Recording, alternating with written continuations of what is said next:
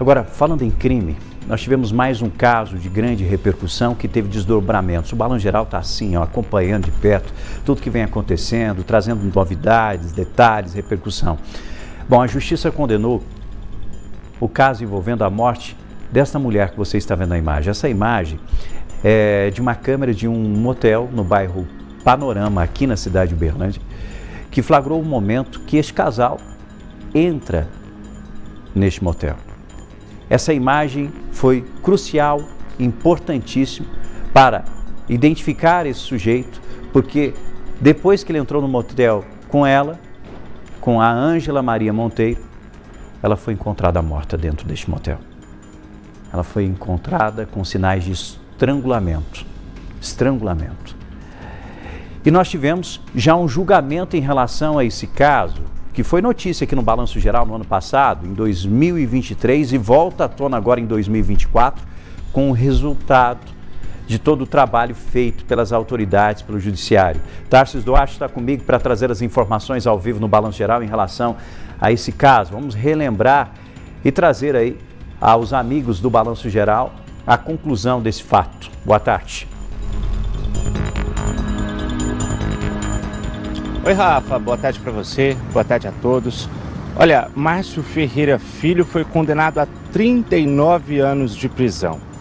Ele que no ano passado convenceu a ex-companheira aí com ele até um motel no bairro Panorama, aqui em Uberlândia, lá no interior do quarto. Eles permaneceram durante a noite. Na manhã do dia seguinte, somente ele saiu do local e disse à funcionária que a mulher continuaria dormindo por lá. Horas depois, essa mesma funcionária foi até o quarto e, sem respostas, resolveu entrar encontrou Ângela Monteiro, infelizmente já sem vida. Ela foi estrangulada. A polícia então começou a procurar pelo principal suspeito. Com exclusividade à época, nós mostramos essas imagens que agora estampam novamente a tela do balanço, que mostram o momento em que o Márcio entrava com a Ângela nesse motel. E aí houve um, um, início de uma procura por ele, porque ele ficou aproximadamente quatro dias desaparecido.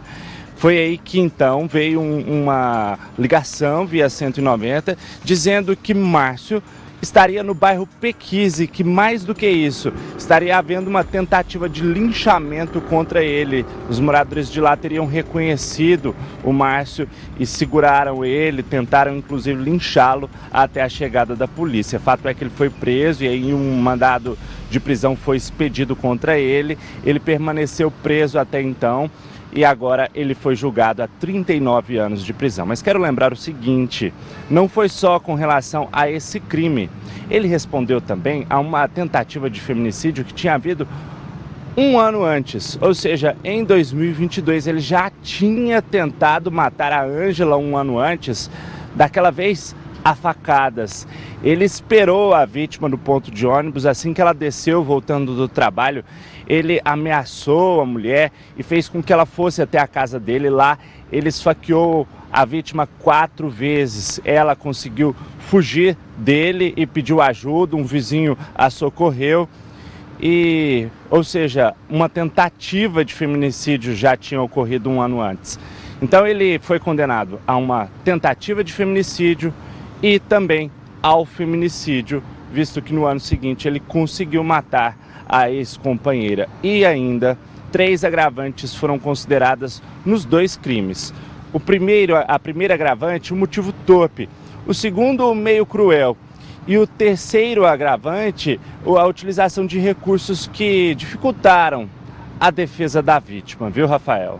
Tarsis Duarte trazendo todos os detalhes, lembrando e relembrando esse caso. E eu lembro muito bem do comentário que eu fiz e repito aqui no nosso balanço geral na época. Quando infelizmente aconteceu a morte, a gente falava: poxa, um cara que já tinha tentado matar a ex-companheira, por que, que ele não estava preso? Porque se ele estivesse preso, a história seria totalmente diferente. Julgamento aconteceu, ele foi condenado não só pela morte, pelo feminicídio, mas também por essa tentativa de homicídio que aconteceu antes, um ano anteriormente. São 39 anos de prisão. 39 anos de prisão.